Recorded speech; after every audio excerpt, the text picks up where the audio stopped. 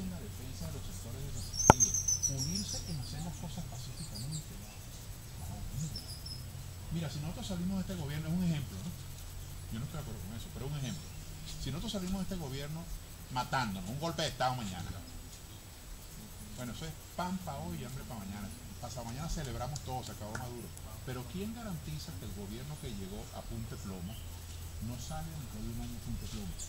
Y que dentro de un año ese que lo derroca, dentro de tres años no lo saquen a punte plomo. Esa vorágine de violencia, esa seguidilla de violencia es lo que queremos para Venezuela.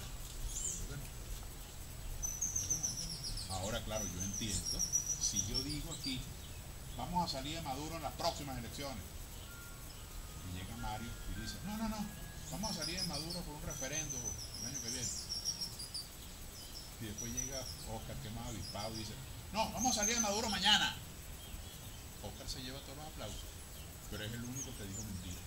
¿Por cómo sale Entonces, ahí es donde se cumple aquel viejo dicho de que deseo no empreña. Vamos a unirnos, pero vamos a unirnos sobre base cierta, no engañando al pueblo. Es bien bueno que lo dijiste, porque fíjate que hace dos años nos dijeron a los venezolanos que si no votábamos ninguno, Maduro se iba.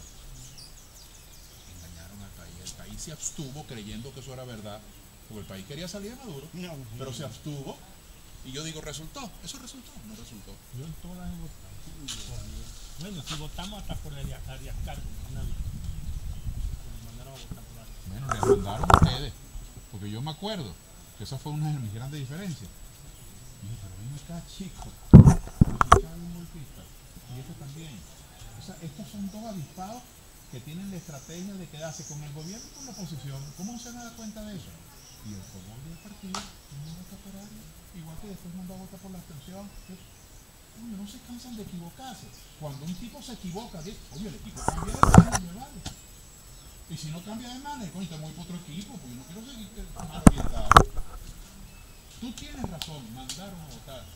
Y el pueblo de hecho tan noble, disciplinado, leal, sigue yéndose por el barranco que le aconsejen unos orientadores malucos.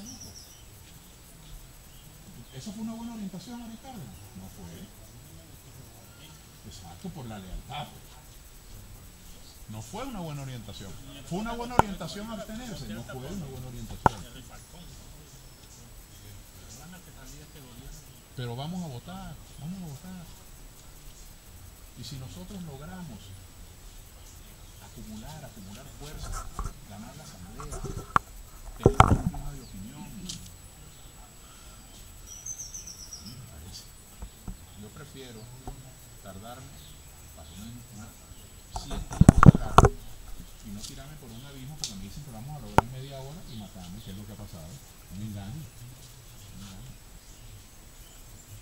Vamos, vamos a darle, va- vamos a organizarnos, vamos a votar. Pero sí, pero vamos a votar por una gente que tú conozcas. ¿Tú conoces a Oscar Pereira?